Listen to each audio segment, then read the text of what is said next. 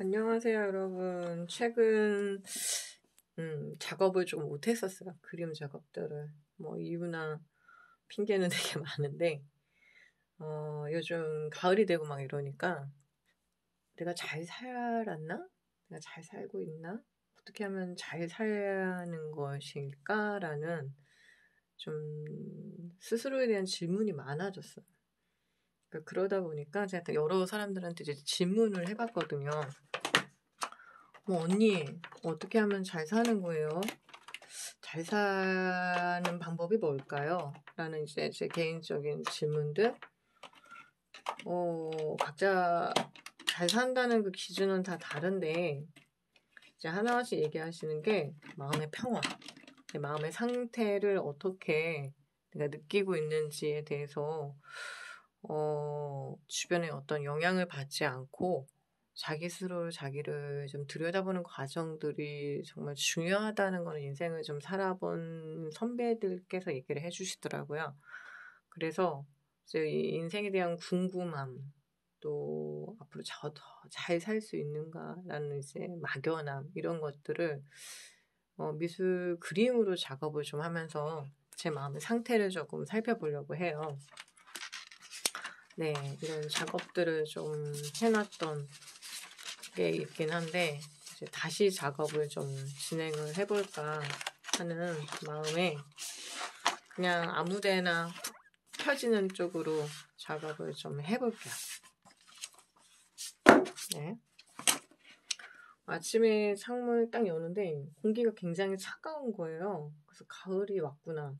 이 가을, 이 가을, 가을, 가을, 가을 했더니 마음이 음, 음, 단풍이 들고 아름다움이 조금 더 많아지는 그리고 풍요로움 뭔가 낙엽도 떨어지고 이런 것들이 눈에 조금 들어오고 이미지가 좀 생각이 났어요. 오늘 제 마음의 상태는 이런 동그라미라고 좀 표현을 해볼게요.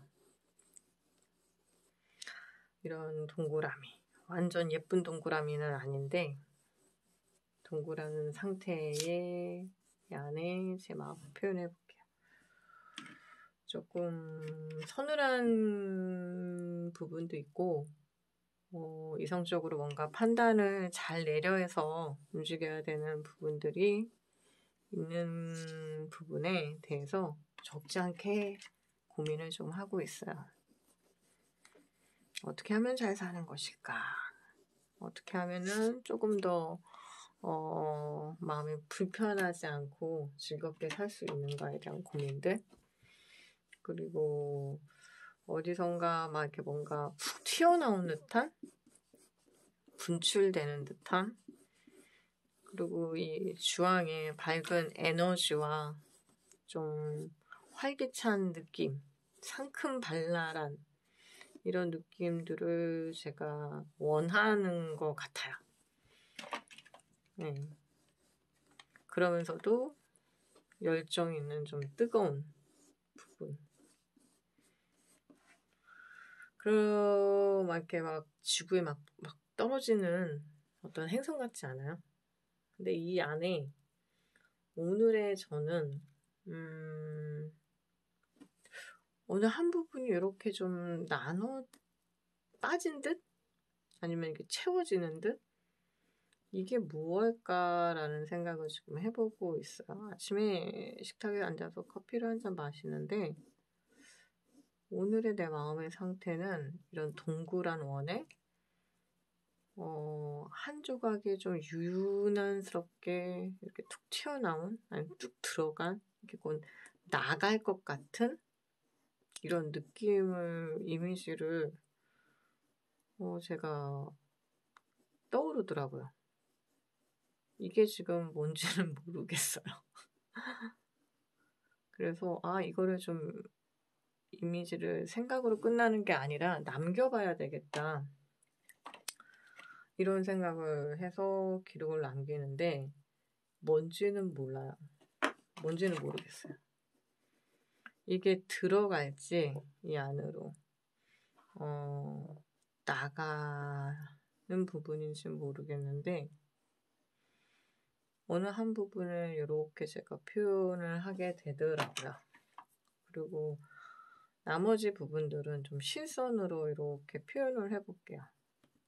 어떤 것들이 어떤 작용을 해서 제 마음에 어떤 영향력을 계속 끼치고 있는지에 대한 부분들은 계속 스스로 질문을 좀 해봐야 되는 부분 같아요. 다른 사람한테 이렇게 하면 잘 사는 거예요? 이렇게 하면은 좀 좋은 건가요? 이렇게 하면은 될까요? 라는 질문을 다른 사람한테 하기보다는 제 스스로에게 조금 해보고 싶어요. 그래서 어떤 영향력을 어떻게 제가 주고 받고 경험, 경험하고 있는지에 대한 그 답을 제가 찾아가는 과정에 저를 좀 중심에 놓고 바라보고 싶어요.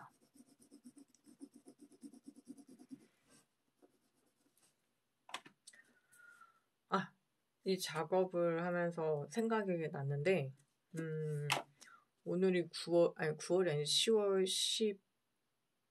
12일이죠. 어, 스케치북 찾으면서 제가 이게 9월 24일 날 작업했던 거예요. 이제 천안시 건강가정지원센터 어머니들하고 이제 원예 미술 치료 활동을 진행을 하면서 그날 아침에 제 기분을 이렇게 표현을 했었는데 어머님들은 어머 뭐예요? 뭐 이렇게 뭐 소라 같아요. 뭐 이렇게 뭔가 뭐 이렇게 좀 되게 긍정적인 반응들을 막 보여주셨어요. 근데 사실은 제 마음의 상태가 그 전날 저녁부터 해가지고 오 저녁이 아니죠 오후부터죠 사람들하고 만남을 가진 이유로 그닥 썩 좋지가 않았어요. 그래서 중심에 있는 제 어떤 부분이 굉장히 자극을 받아서 우와 막 이렇게 소용돌이 치듯이 막 이렇게 막 근데 이 우울한 어두운 감정을 밖으로 표출을 할 수는 없고 그냥 여기 좀, 좀 가둬놓은 상태예요. 꾹 누르고 있는 상태. 단단한 껍질 안에 이렇게 넣어놓은 상태인데 만약 여기서 어떤 외부적인 자극이 이렇게 조금이라도 더 오면은 막 화를 냈을지도 몰라요. 제 상태가. 네, 이렇게 자극이 온다면.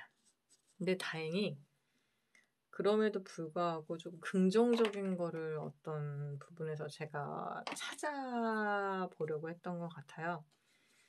그래서 그거를 다 연결해 내면서 어, 괜찮아. 지금은 부족하지만 괜찮아. 나는 그쪽에 뜻이 있고 잘해낼 수 있어. 라는 어떤 연결 과정, 연결 고리 끊이지 않는 옆으로 퍼져나가는 저희 삶의 에너지를 막 이렇게 표현을 했었어요. 찾아놨던 그림이 이제 스케치북 찾다가 보여서 어, 이것도 제가 좀 여러분들께 보여드렸어요. 네, 다시 돌아와서